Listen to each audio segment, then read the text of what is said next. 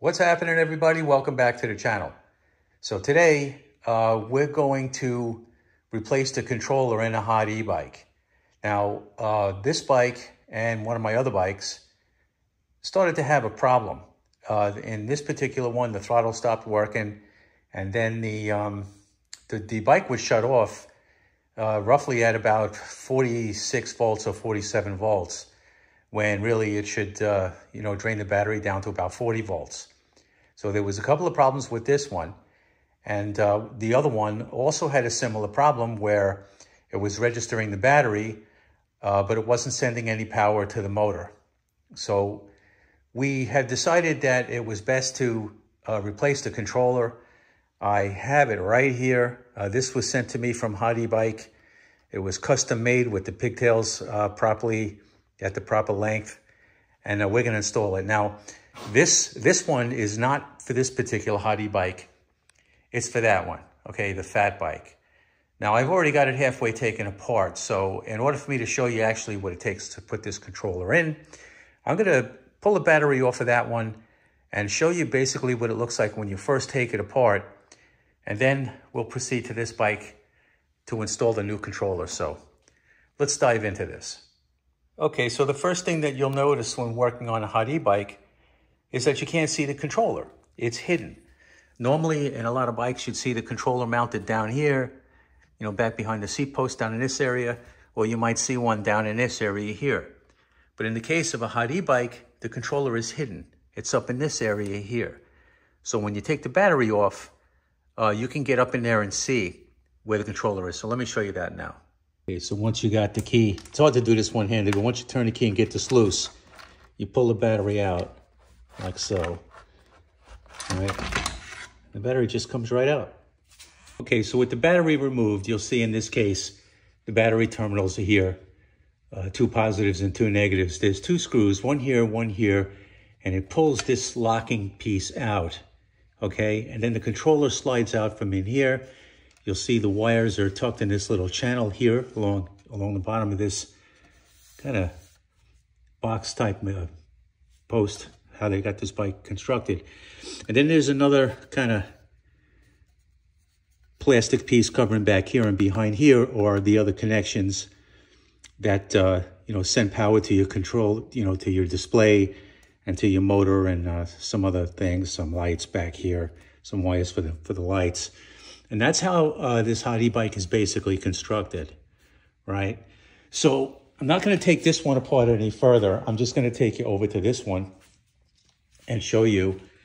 I've got the, the connector out and the controller is tucked away in here, right? Just kind of pull that out. And there she is. And that's one of the nice things about a hot e-bike is that the, the controller is hidden. The bike is very well constructed so that you don't actually see the controller. In the case of the mountain bike, you know, it doesn't even look like an e-bike. You have to look kind of close because it doesn't look much like an e-bike. This one's got a large battery in it. And um, so you can clearly see it's an e-bike. But from here, it's easy. You just take these connectors off, right? Unplug everything. Unplug these connectors down here. Drop the new controller in and put it back in place. So let's get to it. Okay, so it's really easy to take these off, guys. You can see in here, you just press in on this, pull that one out. Same thing in the case of that one. You can see that. Just press in and then pull them apart. And then there's a couple others here. They all come apart the same way, all right? Just press in on the one little tab there and it should come out.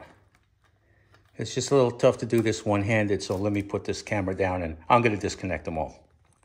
Okay, so with most of the small connectors disconnected, okay, they were, they were a, a snap to take them off. Uh, these, the high-powered wires that power up the motor, well, they're connected a little bit different. Okay, they've got a connection that looks like this, right? So I got to get some tools and pull them apart.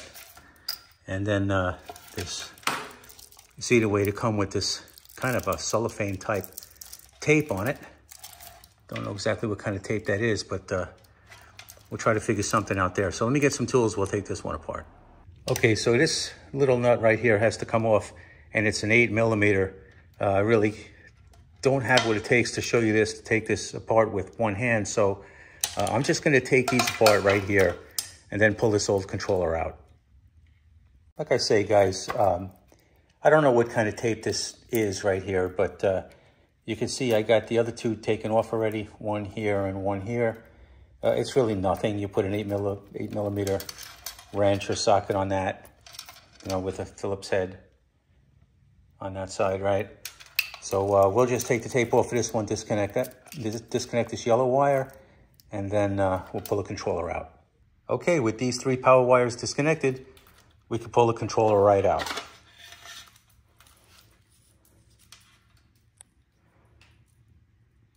Okay, so it's at this point, generally when I'm replacing something, I will put the uh, old part next to the new part to make sure that what I'm replacing is the same as what I'm taking out, right? Now, this one here is the old one, and here's the new one. Uh, I've checked all the lengths, I've checked all the connectors, and they're all the same, but there is one difference. This one, I don't know if that's something that you can see, but um, the new one says max current 17 plus or minus 1 amp, and the old one is 18 plus or minus 1 amp. I don't know if that's going to make any difference in the performance of the bike. Um, HOTeBike says it should perform about the same, you know, um, so I'm just going to go with it. I also want to say that um, this new controller was ordered directly from HOTeBike, and um, they were actually pretty good. I mean, here I am in the United States, and uh, I had to email them from China.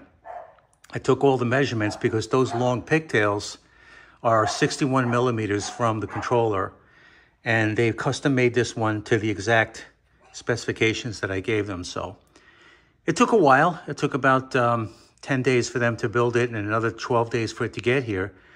But it's here and everything looks okay. So we're going to put it in. Okay, at this point, this is actually quite simple. Just lay this one in here, lay the controller in there, set these two wires to the side because they lay on top of the controller like that, right? And we'll hook up the proper ones. We'll slip the controller in there. Then I'm gonna do the high-powered wires first to make sure that all works. And then we'll plug in the rest of them. Okay, so we're almost there now. Uh, you can see these little, three little um, connectors. Uh, I got all of them together with the little nuts and bolts. All right, so we're just gonna put a little electrical tape on them, all right, to keep them safe. And then uh, we have these ones up in here. Now this red one here is the power, main power wire for the battery, which connects down here once we put the battery on.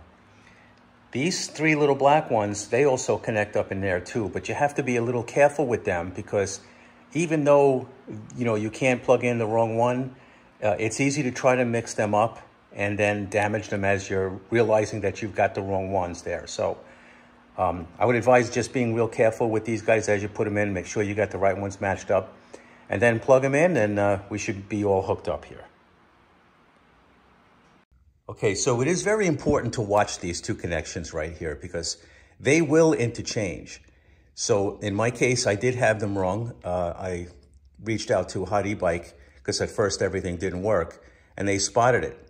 Uh, so you got to watch to make sure that the, you know, the, the wires are, are matching before you put these two together because you can mix them up. The, the connections are the same. So if you cross them, it won't work. But right now we have everything right. Everything's on and everything is working. I'll hit the throttle and we have power there. And we also have,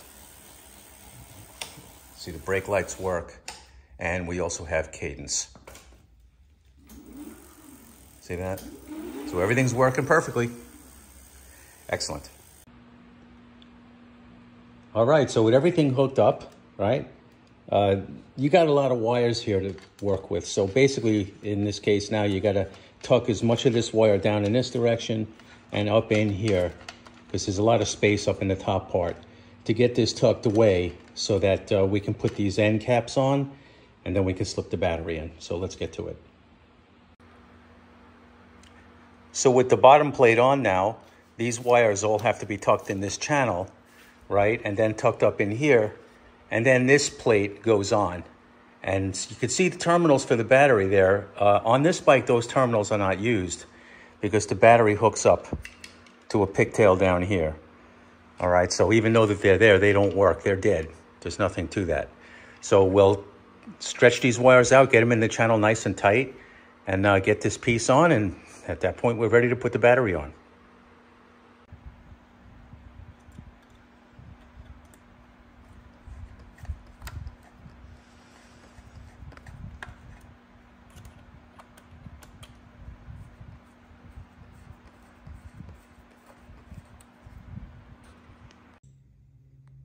One interesting thing happened here, guys.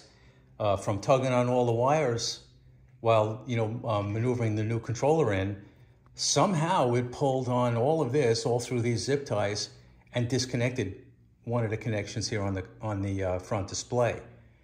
So when you're doing a job like this and uh, you're ready to go, you think you got everything hooked up and it doesn't work, check stuff that you didn't even touch because I never touched any of this and uh, I just by chance came over here and looked at it and found that this was disconnected. So Have to pull this up a little bit to get this to connect because you see, it won't even connect.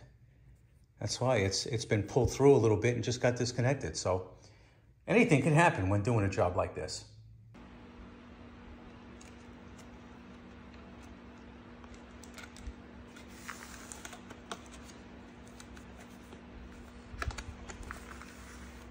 All right, that should just about do it. Just lay a piece of tape on top of the wires to protect them. All right, and we're all hooked up now. Uh, you can see this, like I say, these terminals are not used, but this is basically here to lock the battery in, you know, with its lock. All the wires are protected in that channel. Everything's closed up. Let's put the battery on. All right, guys, here's our battery. And this is really hard to do one-handed, so uh, you can see the pigtail from the battery there. It cooks up over there. You just kind of lay the back of the battery in and then notch it in over there. I can't do this one-handed, so let me shut this camera off and drop this battery in. All right, there she is. We should just snap this right in.